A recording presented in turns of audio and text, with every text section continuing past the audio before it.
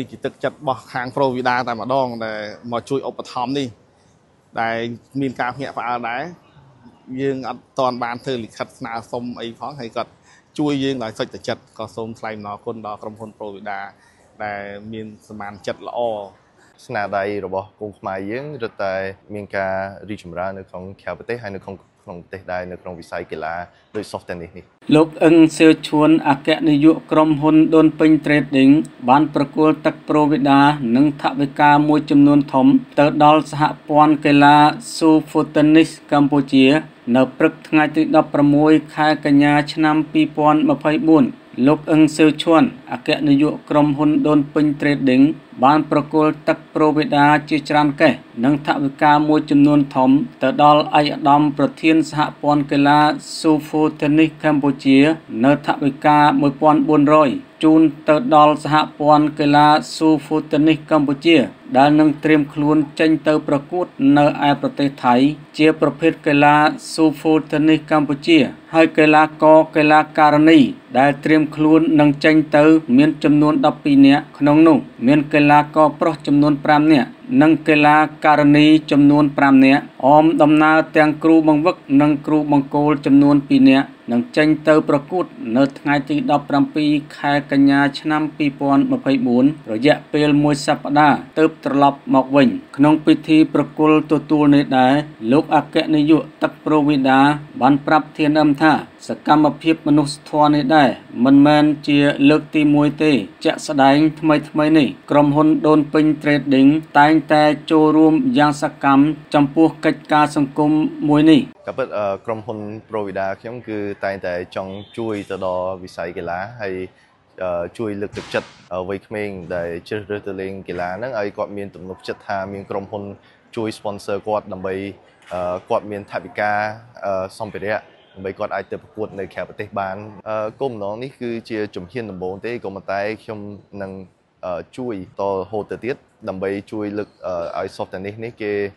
ទទួលស្គាល់នៅឆាកក្រៅប្រទេសហើយគាត់មានកីឡាករហិតច្រើនដែលចេញមកពីការវឹកហាត់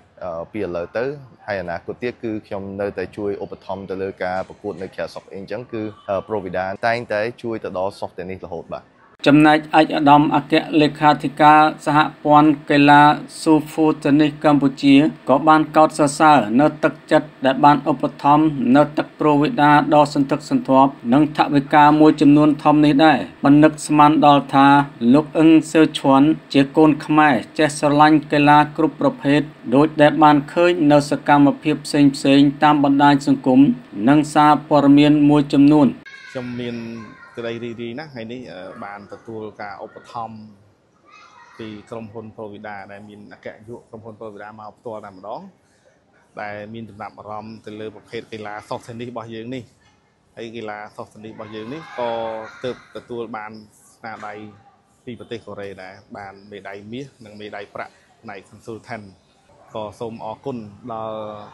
កយុក្រុមហ៊ុន Provida ដែលបានឧបត្ថម្ភឲ្យចាប់អារម្មណ៍ប្រភេទកីឡានេះ ជាចុងក្រោយនេះលោកអឹងសឺឈួនសូមជូនពរលោកគ្រូ និងកីឡាករកីឡាករនីទាំងអស់សូមទទួលបាននៅជោគជ័យដើម្បី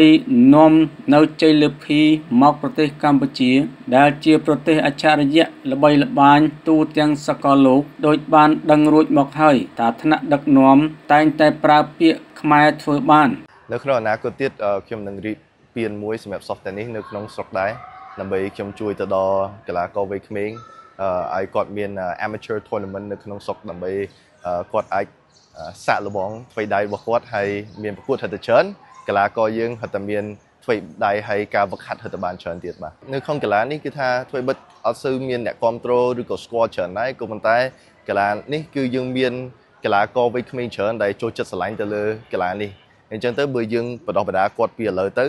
គាត់នឹងអាចមានសមត្ថភាពដើម្បីចេញទៅគួតប្រកួតនៅក្នុងក្រៅប្រទេសបានហើយបញ្ចេញស្នាដៃនៅក្នុងអនាគតទៀតបានអញ្ចឹងសូមឲ្យមហាជនគាត់ចាប់អារម្មណ៍មើលហើយគ្រប់គ្រងទៅលើកីឡាករយើងផងដើម្បីអនាគតទៀតកីឡា soft tennis ហៅថារីកចម្រើនធំជាងនឹងថែមទៀតនៅក្នុងប្រទេសកម្ពុជាយើងខ្ញុំបាទឈ្មោះយីសរិននិងគ្រូសៀមម៉ៅក្នុងកម្មវិធីចេញទៅប្រកួតនេះយើងខាងកីឡាករយើងខ្ញុំបានត្រៀមលក្ខណៈកីឡាករ5រូបកីឡាការិនី5រូបនិង គ្រូបង្វឹកមួយរូបជាមួយនឹងថ្នាក់ដឹកនាំសហព័ន្ធមួយរូបក្នុងការដែលចេញទៅប្រកួតនេះគឺយើងទៅប្រកួតនៅប្រទេសថៃគឺយើងបានត្រៀមលក្ខណៈវឹកហាត់បានល្អត្រឹមត្រូវបន្ទាប់ពីយើងមកត្រឡប់វិលត្រឡប់មកវិញ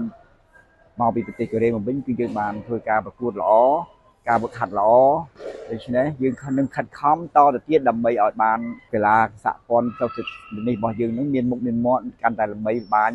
នៅលើឆាកអន្តរជាតិដោយកាលយើងទៅប្រកួតនៅកូរ៉េអញ្ចឹងប្រទេសខ្លះអត់ដែលស្គាល់យើងទេដូច្នេះពេលវេលាដែលយើងទៅបានបង្ហាញទៅជាតិនិងបង្ហាញកិត្តិយសនិងបង្ហាញស្នាដៃដល់ប្រទេសខាងក្រៅហ្នឹងគឺយើងបានមានមុខមានមាត់ល្អខ្ញុំក៏សូមថ្លែងអំណរគុណដល់ទឹកប្រូវីដាដែលបានជួយឧបត្ថម្ភនិងជំរុញថាវិការគឺដូចជាការលើកទឹកចិត្តដល់សហព័ន្ធយើងខ្ញុំនៅថាវិការនឹងយើងអត់មានបញ្ហាទេគឺយើងត្រៀមលក្ខណៈនឹងចេញដំណើរនៅយប់នេះ ចំនួន7ថ្ងៃបាទថ្ងៃទី24បានយើងបញ្ចប់កម្មវិធីកម្មរបស់យើងប្រូវីដាទឹកស្ព្រីងបូកគោរសជាតិផ្អែមស្រទន់ស្រស់ស្រាយបែបធម្មជាតិ